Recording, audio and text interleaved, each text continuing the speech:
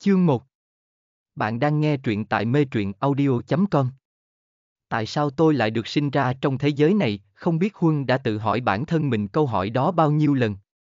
Ông trời cứ như trêu đùa cậu, đã sinh cậu ra trong một gia đình có người cha nghiện ngập đánh đập vợ con khiến mẹ cậu bỏ đi thì cũng đủ rồi đi. Đằng nào lại cho cậu thêm tật câm, cậu cứ phải sống trong im lặng, bị đánh đập cũng không thể lên tiếng nhờ ai giúp đỡ. Huân ngồi than vãn trong lòng một hồi rồi đứng dậy đi chuẩn bị quần áo, sách vở cho ngày mai. Mai là ngày đầu tiên của cuộc sống cấp 3 của cậu. Cầu mong là sẽ không bị bắt nạt như cấp 2. Huân chuẩn bị xong tất cả rồi đi tới chỗ miếng nệm mỏng được trải dưới đất, ngồi xuống kế cậu em trai nhỏ đang ngủ ngon lành của mình, tháo mắt kính ra rồi đi ngủ, đêm dài dần trôi qua rồi được thay thế bởi một buổi sáng đẹp đẽ, cậu em trai nhỏ không biết đã dậy và thay đồ từ lúc nào ngồi lắc Huân. Anh hai ơi dậy đi, hôm nay đi học đó, Huân mơ màng ngồi dậy, tay với với lấy cái mắt kính đeo vào, cậu gật đầu như nói biết rồi với đứa em trai rồi cũng đi thay đồ, bữa sáng của hai anh em chỉ là những ổ bánh mì không được cô hàng xóm cho. Huân cùng em trai ngồi ăn trước bậc thềm của ngôi nhà nhỏ, cũ kỹ được xây dựng một cách sơ sài. Cậu nhìn một lượt xung quanh không thấy bóng dáng của cha cậu đâu. Chắc lại nhậu tới mức quên đường về, ngủ đại ở vỉa hè nào nữa rồi. Ăn xong bữa sáng, Huân nắm lấy tay đứa em trai, hai anh em cùng dắt nhau đi bộ đến trường, trường tiểu học của em trai cậu gần hơn nên chẳng mấy chốc đã đến nơi, Huân dùng tay làm tín hiệu câm muốn nói với em trai mình rằng Ráng học tốt, ra về nhớ đứng ở bên trong trường đợi anh.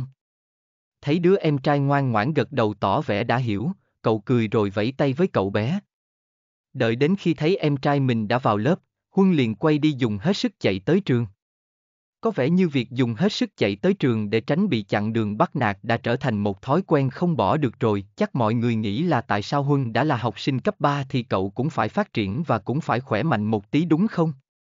Tại sao lại sợ bị bắt nạt tới như vậy?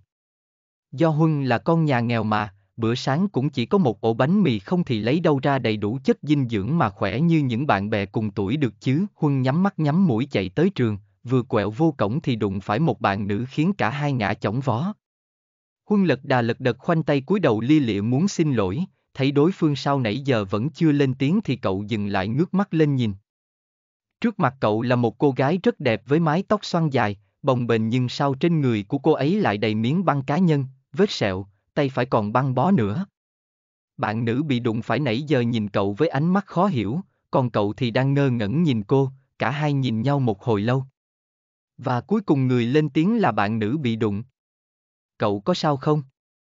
Huân nghe hỏi mới giật mình lắc đầu liên tục, tay chỉ chỉ lại như muốn hỏi cô có bị sao không, cô bạn đó rất thông minh nha, thấy cậu làm hành động như vậy cô liền đáp lại cậu là cô không sao bằng một dàn tín hiệu câm khiến cậu ngạc nhiên hết sức, chưa hết ngạc nhiên thì tiếng trống trường đã vang lên khiến Huân giật mình liền ba chân bốn cẳng chạy đi tìm lớp.